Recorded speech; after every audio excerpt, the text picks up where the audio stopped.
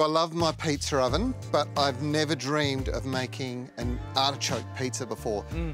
Not a globe artichoke and definitely not a Jerusalem artichoke. This is really different.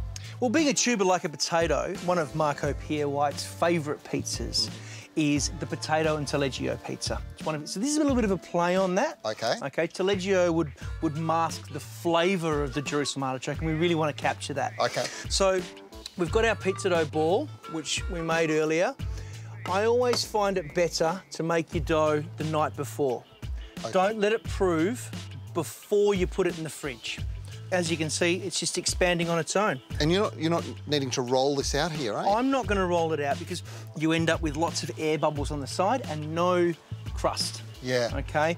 If you hand turn your pizza and if you've made your dough right, you'll end up with that beautiful little crust there.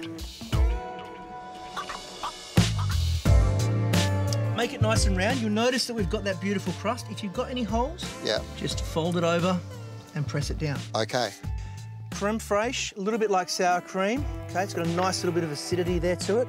You don't want too much, okay, because you don't want it to goo everywhere.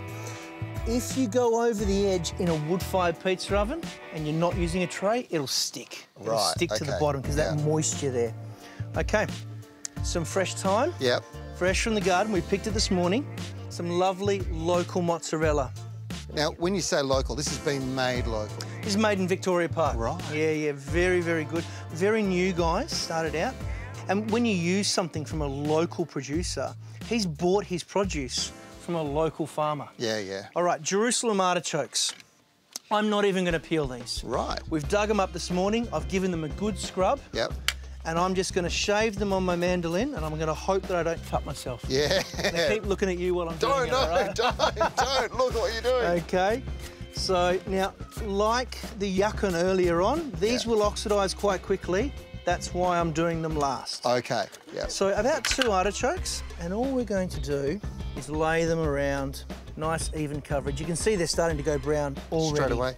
Just like that. And we're going to finish with a little bit of salt and a touch of olive oil. There you go, Trev. That's all yours. Straight in. Straight in. Okay.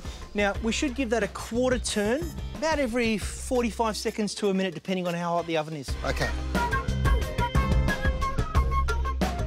So we are ready to go here. Want to do the honours, Trev? Oh, okay. Nice thin base, good crust.